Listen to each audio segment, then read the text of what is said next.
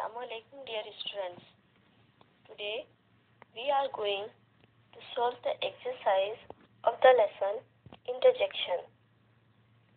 Interjection is a part of speech.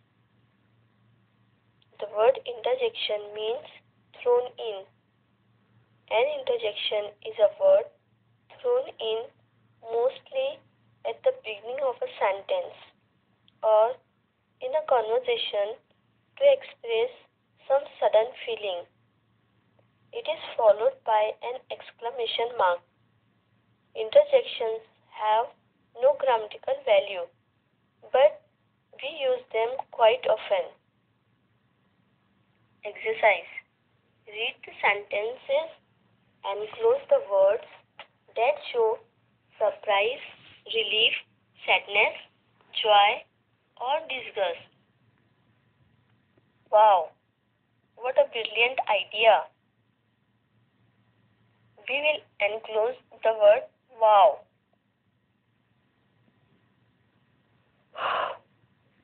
What did you say? We will enclose the word Oops, I am sorry.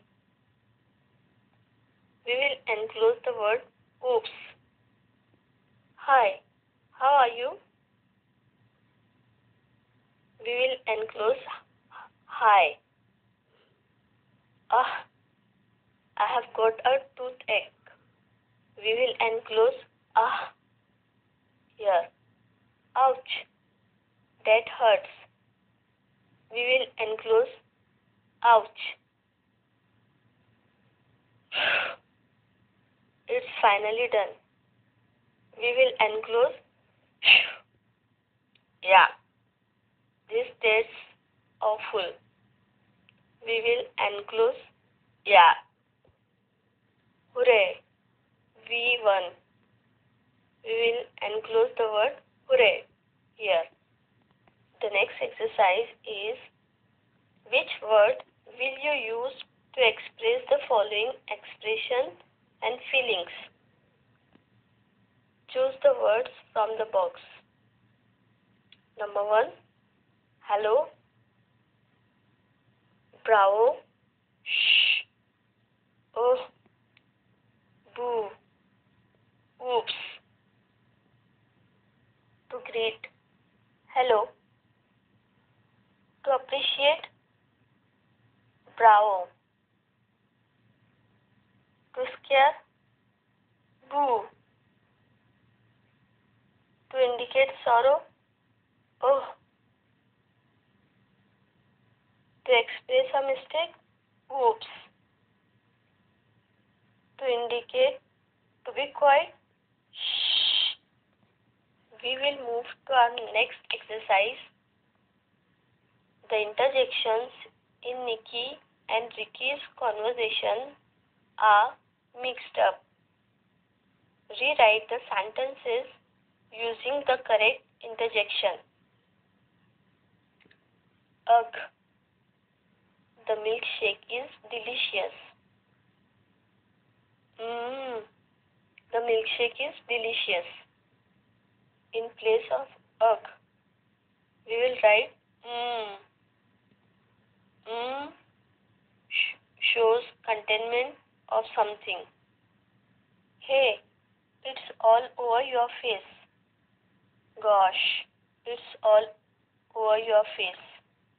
Gosh expresses surprise or in place of oh my god we use gosh. Gosh, can I have one more? Hey, can I have one more? In place of gosh, we use hey. Hey is used to get attention. Hmm, you have already had four. Ugh, you have already had four. In place of hmm, we will use ugh. Ugh is an interjection that shows annoyance. Wow. Hi. Uh, ouch. Yeah. Hooray. Hello. Bravo. Boo. Oh. Shh. Mmm. Gosh.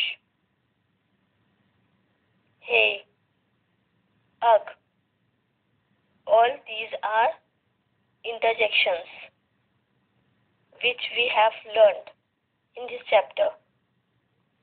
Make a list of more interjections with your friends. Don't forget to mention the feelings the interjection express. Learn and write all exercise in your notebook. الله حافظ.